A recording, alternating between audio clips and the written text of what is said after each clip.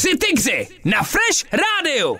Hujda, hujda, hujdy, hujdy, to je krásně na tom světě, nejsem sám, je tady se mnou už Vavík a je tady se mnou dokonce i Albertík Bertolt. Ahoj Alberte, kde jsi byl? Ráno dobré, ráno dobré, opět jsem se spoléhal na krásnou dálnici mezi Frýdkem, Místkem a Ostravou a opět to bylo spoléhání úplně zbytečné. O, ale, pořád, bláhový. ale pořád jsem to stíhal, říkám to dám, dodám, teď jsem to turoval po té místecké, fičel jsem z těch, z těch Vítkovic od Hrabové skrz Vítkovice až, ale pozor, Neuralgický bod Ostravského centra, samozřejmě Frýdlandské mosty, to zajistili, že jsem se tam bloknul, takže přátelé, eh, takové krátké dopravní zpravodajství z eh, centra Ostravy.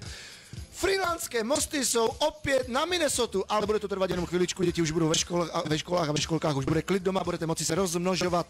No, ale já nevím, já už si přebírá, přebíráš prostě tento zástupné slovo Minnesota. Já myslím, že i pro nové posluchače je třeba zpočátku říct, co to ta Minnesota je, kterou vlastně přinesl Robin Ferro jako zástupné slovo ke slovům, které říkat nesmí. Takže Minnesota, ano. když řekneme kdokoliv z nás, teď už to přebírá Bertík i tak, to znamená, že prostě to je to, co, no, to je ono.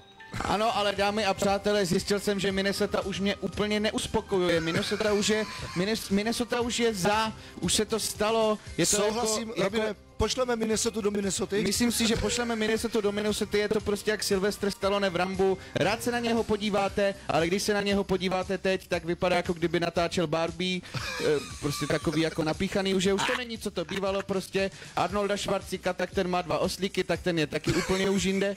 A prostě myslím si, že bychom měli nahradit Minnesota úplně jiným slovíčkem, takže kdybyste náhodou měli nějaký nápad, tak nám to pošlete do komentářů, protože se na tohleto vysílání můžete dívat i na vlnách internetu. Já jsem se neučesal.